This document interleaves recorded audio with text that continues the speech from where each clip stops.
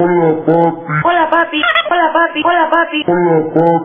hola papi, hola papi, hola papi. Estamos aquí todos reunidos esperando este momento y que te queremos mucho y feliz cumpleaños.